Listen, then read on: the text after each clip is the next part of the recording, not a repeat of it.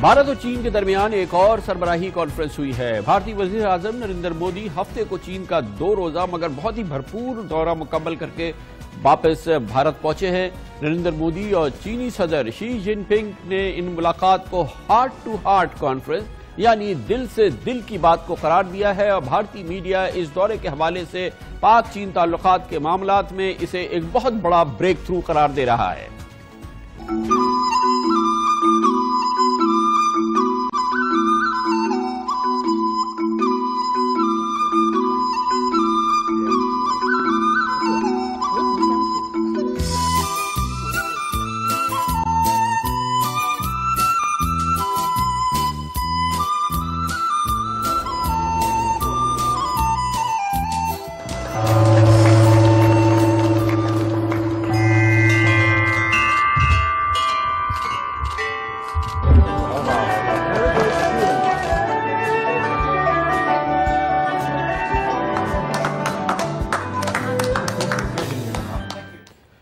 دونوں رہنماؤں کی ملاقات چین کے شہر ووہان میں ہوئی، جہاں نریندر مودی اور صدر جی جن پنگ نے غیر رسمی اور دوستانہ انداز میں جو نیوز رپورٹ سامنے آئی ہیں، بہت ہی کلوزلی ایک دوسرے کے ساتھ وقت گزارا ہے اور دو دن کے دوران یہ رہنما چھ بار ایک دوسرے سے ملے۔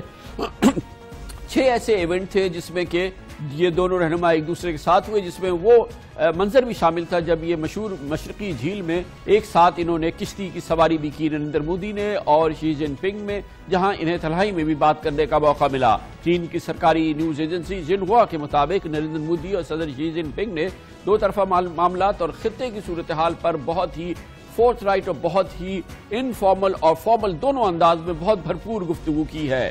بھارت میں چینی سفیر نے ٹویٹر پہ کہا کہ چینی صدر شی جن پنگ پچھلے پانچ سال میں کسی غیر ملکی مہمان کا استقبال کرنے کے لیے صرف دو بار بیجنگ سے باہر نکلے، ایک بار دو ہزار پندرہ میں اور اس بار اس بار اور دونوں دفعہ وہ غیر ملکی مہمان نریندر مودی تھے، جن کے لیے جی جن پنگ باقاعدہ بیجنگ سے نکلے کسی اور شہر میں جہاں پہ انہیں آنا تھا اور براہ راست جا کے انہوں نے ریسیو کیا اور وہ دونوں بار اعزاز جو تھا بھارتی وزیر اعظم نریندر مودی کو ملا۔ چینی سفیر نے کہا کہ اس سے آپ اندازہ لگا سکتے ہیں کہ صدر مودی سے دوستی اور بھارت سے تعلقات کو ہم یعنی چین کتنی اہمیت دیتے ہیں۔ یہی وجہ ہے کہ بھارتی میڈیا اس پر پھولے خوشی سے پھولے نہیں سما رہا۔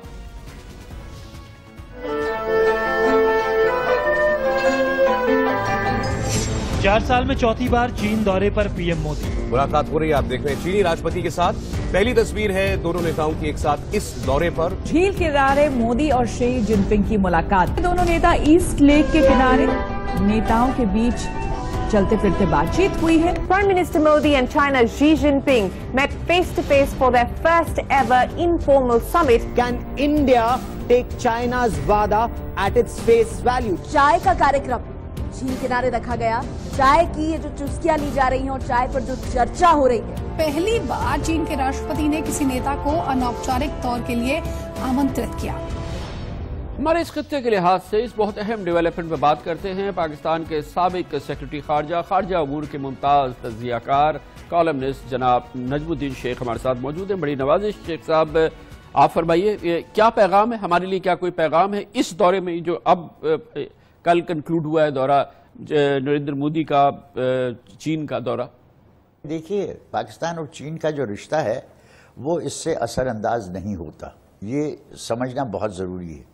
انہوں نے جو دعوت دی تھی ہندوستان کو پہلے بھی کہ آپ سی پیک کا حصہ بنیں، اور سی پیک کا حصہ بننے کے لیے اگر آپ چاہیں تو ہم ایک راستہ اور بنائیں گے جو کہ آپ کے مقبوضہ کشمیر کے ذریعے آئے گا، لیکن آئے گا سی پیک میں۔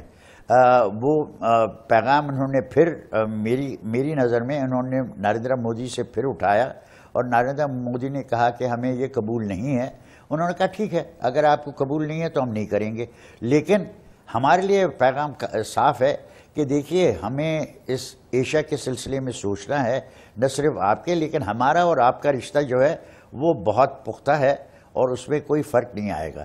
یہ یاد رکھیے کہ چین اب گریٹ پانچ سٹیٹس رکھتا ہے اور گریٹ پانچ سٹیٹس کے لیے جس خطے میں، ساؤتھ ایشیا میں خاص طور پہ، جس قسم کی ان کی دلچسپی ہے، وہ چاہیں گے کہ اس دلچسپی میں ایک کاؤنٹر ویلنگ فورس ہو۔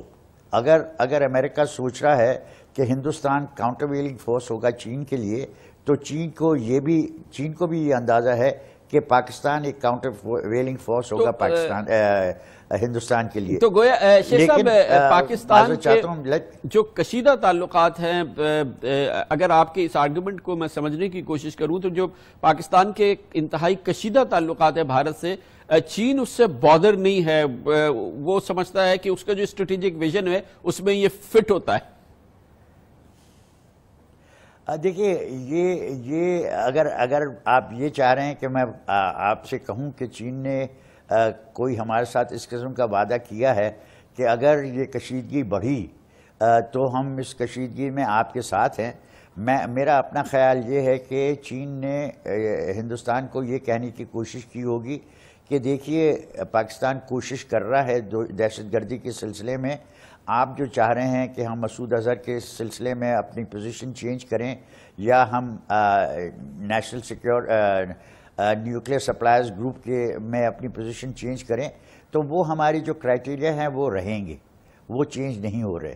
انہوں نے یہ بھی کہا ہوگا کہ صاحب، اگر ہم ایشیائی صدی بنانا چاہتے ہیں، تو آپ کے لیے یہ اہم ہے کہ آپ اپنے خطے میں اپنے پڑوسیوں کے ساتھ رشتہ صحیح کریں اور اگر یہ رشتہ صحیح کریں گے تو پھر خطہ ایز اے ہول آگے بڑھ سکے گا۔ یہ مجھے یقین ہے کہ یہی ان کو میسج ملا ہے اور یہ بھی میسج ملا ہوگا کہ جب ہم کہتے ہیں کہ چین اور پاکستان کا رشتہ is higher than the highest mountains and deeper than the deepest oceans تو اس کی، اس کا ذکر اوبلیکلی یا ادروائز کیا گیا ہوگا۔ میرے میرے کہنے کا مطلب آپ سے یہ ہے کامران صاحب، کہ چین یا کوئی بھی گریٹ پارٹ جو ہے، وہ کسی خطے میں بھی چاہے گا کہ جو بھی وہاں کے ممالک ہیں، ان سب کے ساتھ ایک نوعیت کا رشتہ رکھے۔ اور ایک نوعیت کی رشتے میں یہ بھی ہو کہ اگر ضرورت پڑے تو ہم ایک کو دوسرے کے خلاف استعمال کر سکیں، یا دونوں کو ساتھ لانے کی کوشش کر سکیں۔ اس وقت مجھے لگتا ہے کہ چین کی کوشش یہ ہوگی کہ اگر ہم اس کو ایشائی صدی بنانا چاہتے ہیں تو اس کے لیے ضروری ہے کہ ہندوستان اپنے خطے میں رشتے صحیح جی۔ کرے جیسے چین اپنے رشتے فلپینز ملیشیا انڈونیشیا کے ساتھ صحیح کرنے کی کوشش کر جی۔ رہا ہے باوجود اس کے کہ ساؤتھ چائنا سی کی ایک ایک تنازع کا علاقہ نظر آتا ہے جی۔ لیکن ان کا کہنا یہ ہے کہ دیکھیے ہم انڈیویجولی ہر ملک کے ساتھ اگریمنٹ کرنے کو تیار ہیں اور ہم اگریمنٹ کرنے کی کوشش کریں گے وہ وہی چیز آپ ساؤتھ ایشیا میں کریں گے۔ بہت بہت شکریہ۔ بھارت اور چین کے درمیان ایک اور سربراہی کانفرنس ہوئی ہے۔ بھارتی وزیر اعظم نریندر مودی ہفتے کو چین کا دو روزہ مگر بہت ہی بھرپور دورہ مکمل کر کے واپس بھارت پہنچے ہیں۔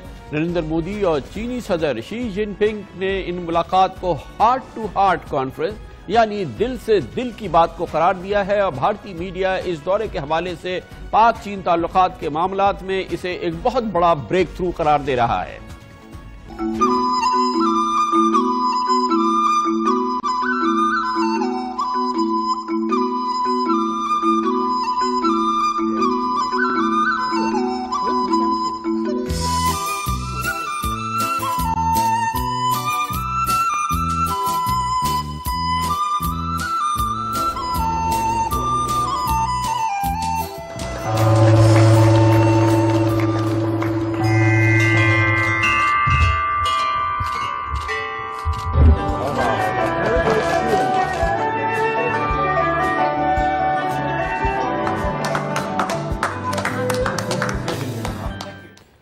دونوں رہنماؤں کی ملاقات چین کے شہر ووہان میں ہوئی، جہاں نریندر مودی اور صدر جی جن پنگ نے غیر رسمی اور دوستانہ انداز میں جو نیوز رپورٹ سامنے آئی ہیں، بہت ہی کلوزلی ایک دوسرے کے ساتھ وقت گزارا ہے اور دو دن کے دوران یہ رہنما چھ بار ایک دوسرے سے ملے۔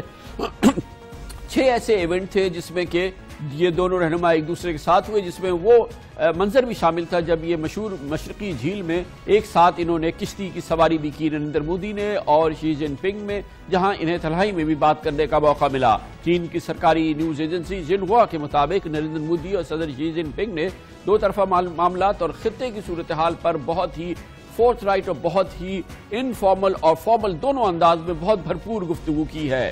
بھارت میں چینی سفیر نے ٹویٹر پہ کہا کہ چینی صدر شی جن پنگ پچھلے پانچ سال میں کسی غیر ملکی مہمان کا استقبال کرنے کے لیے صرف دو بار بیجنگ سے باہر نکلے، ایک بار دو ہزار پندرہ میں اور اس بار اس بار اور دونوں دفعہ وہ غیر ملکی مہمان نریندر مودی تھے، جن کے لیے جی جن پنگ باقاعدہ بیجنگ سے نکلے کسی اور شہر میں جہاں پہ انہیں آنا تھا اور براہ راست جا کے انہوں نے ریسیو کیا اور وہ دونوں بار اعزاز جو تھا بھارتی وزیر اعظم نریندر مودی کو ملا۔ چینی سفیر نے کہا کہ اس سے آپ اندازہ لگا سکتے ہیں کہ صدر مودی سے دوستی اور بھارت سے تعلقات کو ہم یعنی چین کتنی اہمیت دیتے ہیں؟ یہی وجہ ہے کہ بھارتی میڈیا اس پر پھولے خوشی سے پھولے نہیں سما رہا۔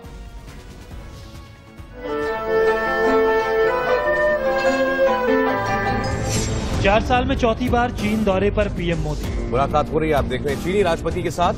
پہلی تصویر ہے دونوں نیتاؤں کی ایک ساتھ اس دورے پر۔ جھیل کے کنارے مودی اور شی جن پنگ کی ملاقات۔ دونوں نیتا ایسٹ لیک کے کنارے نیتاؤں کے بیچ چلتے پھرتے بات چیت ہوئی ہے۔ Prime Minister Modi and China's Xi Jinping met face to face for their first ever informal summit. Can India take China's WADA at its face value? چائے کا کارکرم جھیل کنارے رکھا گیا چائے کی یہ جو چسکیاں لی جا رہی ہیں اور چائے پر جو چرچا ہو رہی ہے پہلی بار چین کے راشٹرپتی نے کسی نیتا کو انوپچارک طور کے لیے آمنترت کیا ہمارے اس خطے کے لحاظ سے اس بہت اہم ڈیولپمنٹ میں بات کرتے ہیں پاکستان کے سابق سیکرٹری خارجہ خارجہ امور کے ممتاز تجزیہ کار کالمنسٹ جناب نجم الدین شیخ ہمارے ساتھ موجود ہیں۔ بڑی نوازش شیخ صاحب، آپ فرمائیے کیا پیغام ہے؟ ہمارے لیے کیا کوئی پیغام ہے؟ اس دورے میں جو اب کل کنکلوڈ ہوا ہے دورہ نریندر مودی کا چین کا دورہ۔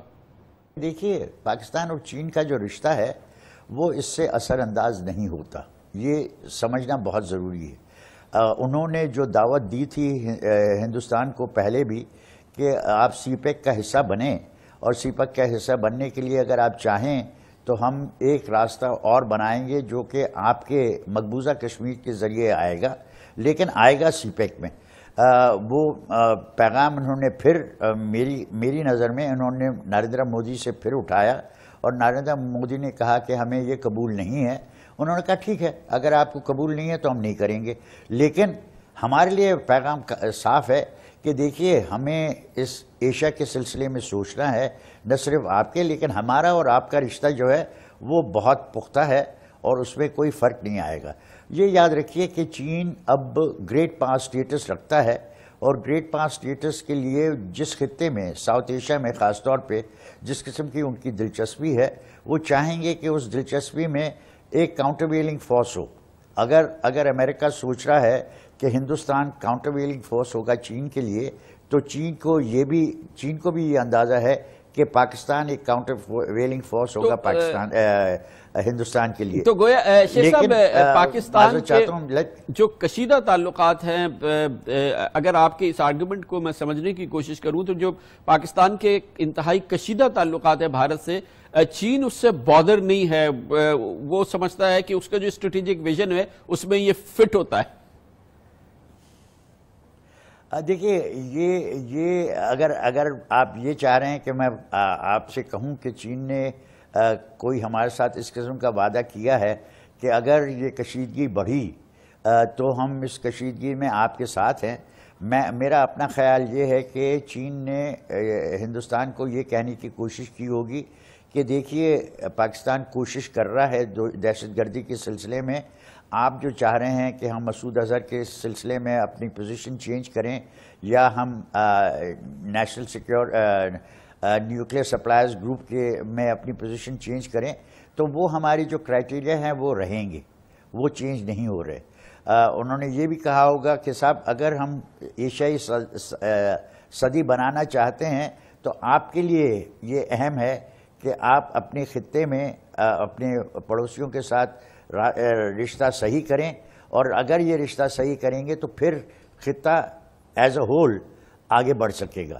یہ مجھے یقین ہے کہ یہی ان کو میسیج ملا ہے اور یہ بھی میسیج ملا ہوگا کہ جب ہم کہتے ہیں کہ چین اور پاکستان کا رشتہ is higher than the highest mountains and deeper than the deepest oceans تو اس کی اس کا ذکر ابلیکلی یا ادروائز کیا گیا ہوگا۔ میرے میرے کہنے کا مطلب آپ سے یہ ہے کامران صاحب، کہ چین یا کوئی بھی گریٹ پارٹ جو ہے، وہ کسی خطے میں بھی چاہے گا کہ جو بھی وہاں کے ممالک ہیں، ان سب کے ساتھ ایک نوعیت کا رشتہ رکھے۔ اور ایک نوعیت کی رشتے میں یہ بھی ہو کہ اگر ضرورت پڑے تو ہم ایک کو دوسرے کے خلاف استعمال کر سکیں یا دونوں کو ساتھ لانے کی کوشش کر سکیں۔ اس وقت مجھے لگتا ہے کہ چین کی کوشش یہ ہوگی کہ اگر ہم اس کو ایشائی صدی بنانا چاہتے ہیں تو اس کے لیے ضروری ہے کہ ہندوستان اپنے خطے میں رشتے صحیح کرے جیسے چین اپنے رشتے فلپینز ملیشیا انڈونیشیا کے ساتھ صحیح کرنے کی کوشش کر رہا ہے۔ باوجود اس کے کہ ساؤتھ چائنا سی کی ایک ایک تنازع کا علاقہ نظر آتا ہے لیکن ان کا کہنا یہ ہے کہ دیکھیے ہم انڈیویجولی ہر ملک کے ساتھ اگریمنٹ کرنے کو تیار ہیں اور ہم اگریمنٹ کرنے کی کوشش کریں گے۔ وہ وہی چیز آپ ساؤتھ ایشیا میں کریں گے۔ بہت بہت شکریہ۔